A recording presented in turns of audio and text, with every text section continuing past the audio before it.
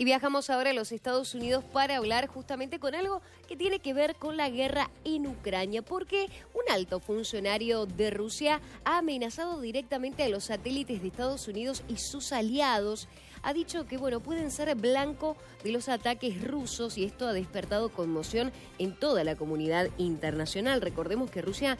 que en 1957 lanzó al espacio el Sputnik 1, el primer satélite fabricado por el hombre y que en 1961 envió, ya el primer hombre al espacio exterior, tiene una importante capacidad ofensiva espacial, al igual que Estados Unidos y China. En 2021 Rusia también lanzó, lanzó un misil antisatélite para destruir uno de sus propios satélites. Konstantin Voronstov, subdirector del, Departamento de No Proliferación y Control de Armas del Ministerio de Asuntos Exteriores ruso, dijo ante las Naciones Unidas que Estados Unidos y sus aliados están tratando de utilizar el espacio para imponer el dominio occidental y esto, por supuesto, ha levantado la conmoción en toda la ONU porque esta ira de Vladimir Putin por la ayuda que recibe de toda la comunidad internacional Ucrania en esta guerra que se está desatando allí y apunta directamente ahora contra las satélites comerciales de Estados Unidos y otros países occidentales